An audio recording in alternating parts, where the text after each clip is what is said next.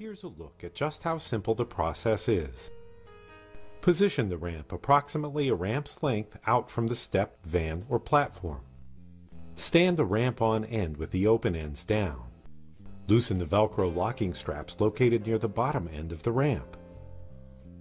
The handle should be at the center of the space where you want the ramp to be. Reach down and lift the first half of the ramp toward the step or landing area and set it down on top of the support.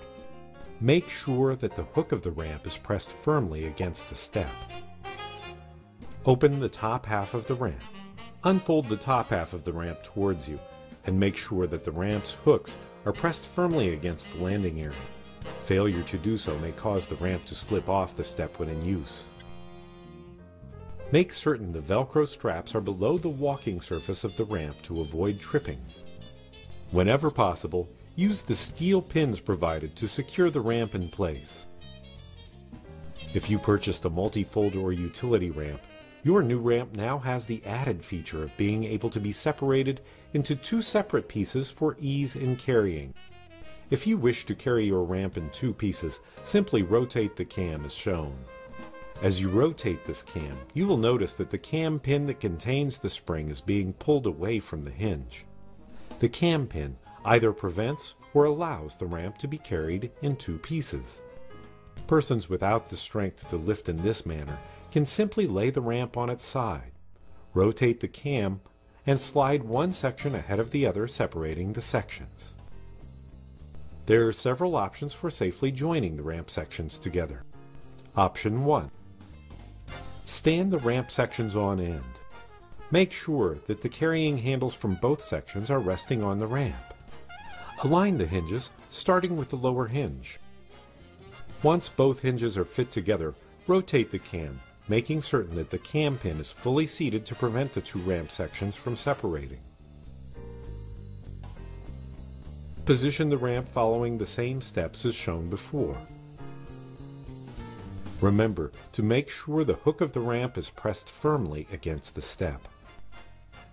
Check to see that the Velcro straps are below the walking surface of the ramp to avoid tripping.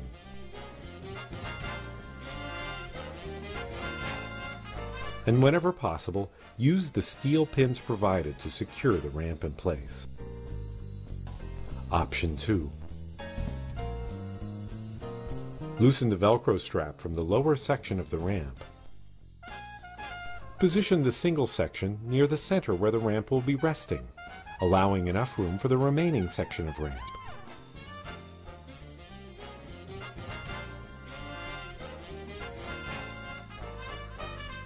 Next, hold the second section of the ramp to align the hinges, starting with the lower hinge, and slide the ramps together.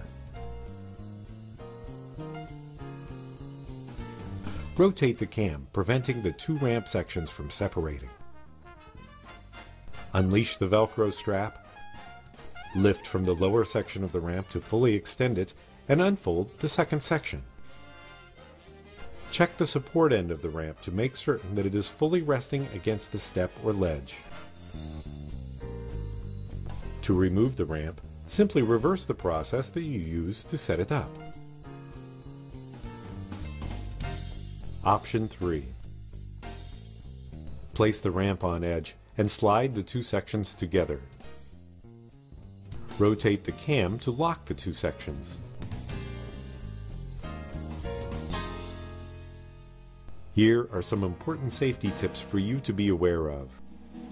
PVI always recommends having a qualified assistant present when using any portable ramp. PVI portable access ramps should never exceed a 3 to 12 slope ratio. For example, for a 6 foot long ramp, the maximum height of the step or platform should be no more than 18 inches. For an occupied wheelchair or scooter, you should never exceed a 2 to 12 slope ratio. You can calculate the optimum rise for any length ramp with a PVI slope length rise chart. You'll find this chart attached to the underside of your ramp. Staying within this ratio ensures that you can use your ramp safely for your safety, the PVI portable multi-fold and utility ramps have a visual aid located on the side of the ramp. Before using your ramp, check to ensure that the visual aid indicates the ramp is on a safe slope. This visual aid is set for a 2 to 12 slope ratio for occupied chairs only. If you are using it for loading unoccupied chairs or scooters, follow the calculation process mentioned earlier. If you intend to use your ramp to transport an individual in or out of a vehicle, always use a qualified assistant.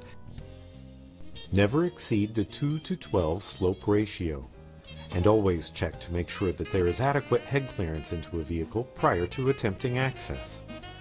If you have additional questions about safety or use of our portable access products, or any other questions about the setup or use of your ramp, contact the PVI dealer nearest you.